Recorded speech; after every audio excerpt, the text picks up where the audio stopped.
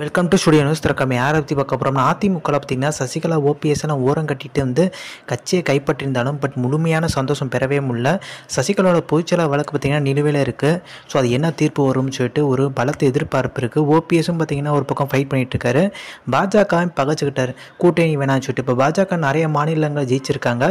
சிறுபான்மையை மக்கள் ஓட்டு கிடைக்காதுன்னு சொல்லிட்டு தான் வந்து பாஜகவோட கூட்டணி முடிச்சிருக்காரு ஆனால் மத்திய பிரதேசத்தில் மத்திய பிரதேசத்துலாம் பார்த்திங்கன்னா சிறுபான்மை ஓட்டு நிறைய வந்து பார்த்திங்கன்னா பார்த்திங்கன்னா பாஜக கிடச்சிருக்கு. கிட்டத்தட்ட வந்து பாஜகவே எதிர்பார்க்கல.